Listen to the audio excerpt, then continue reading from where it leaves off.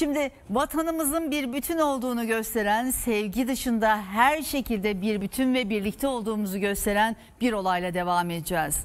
Vatan bir bütündür, parçalanamaz. Her türlü yabancı işgaline ve müdahalesine karşı millet hep birlikte direniş ve savunmaya geçilecektir.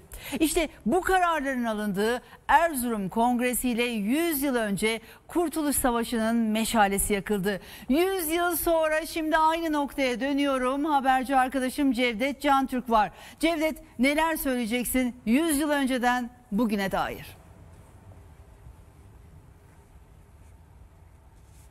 İşte o tarihi anların yaşandığı bir yerdeyiz. Mustafa Kemal Paşa'nın Erzurum Kongresi'nin öncesinde ve sonrasında çalışmalarını yürüttüğü sırada konakladığı evdeyiz. Evin üst katı ona ayrılmıştı. İşte bu arka planda şimdi kameraman arkadaşım Muhammed Civelek kongreye katılanları gösteriyor ama Atatürk'ün Mustafa Kemal Paşa'nın konakladığı özellikle geceleri yattığı odayı ilk önce gösterelim. Evin nasıl bir e, formda olduğunu anlattıktan sonra tarihi hikayeleri de size anlatmak istiyoruz. Şimdi Mustafa Kemal 52 gün boyunca bu odada geceleri geçirdi. Ama son derece yoğun bir çalışma programı vardı.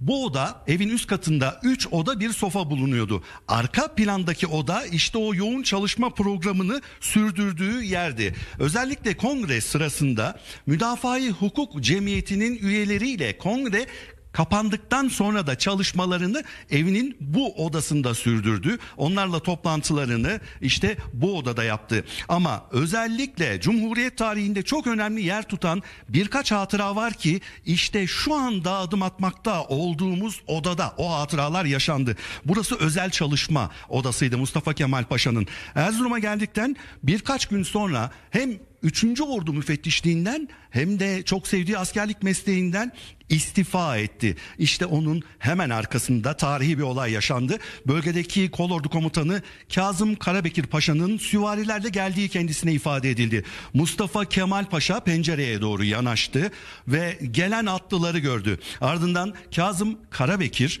üst kata çıktı. Mustafa Kemal Paşa onu karşıladığında tarihi bir sahne yaşanıyordu. Ben ve kolordum emrinizdeyiz paşam diyordu Karabekir Paşa.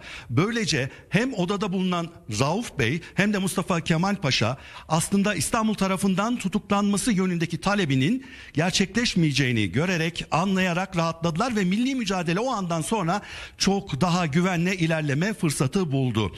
Öte yandan bir başka hatıra ise gerçekten şaşırtıcı bir sırrı barındırıyordu. O da yine bu odada bulunan işte şu masada yaşandı.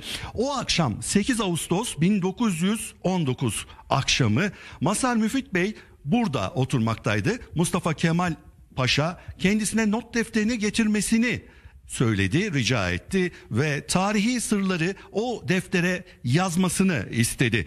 O sırada Süreyya Bey de odada bulunuyordu. İşte bu üçünün arasında gizli bir sır olarak kalmasını rica edip not alınması gerekenlerin bir numarada yer alanını ifade etti. O da şöyleydi bu tarihi cümle Mustafa Kemal ayakta not alınmasını isterken şunu söyledi. Masar Bey yazınız Zaferden sonra şekli hükümet cumhuriyet olacaktır.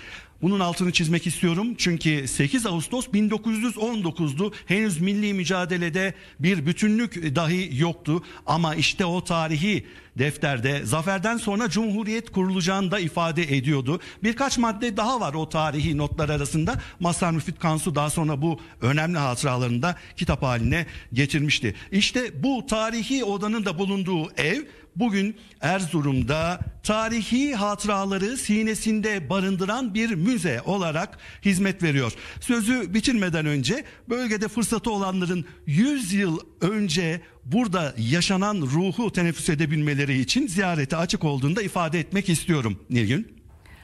Cevdet Can Türk çok teşekkür ederiz. Gerçekten çarpıcı görüntülerde 100 yıl önceden bugüne yansıyan memleketimizin nasıl kurtulduğunu anlatan senin anlatımlarıyla birlikte teşekkürler.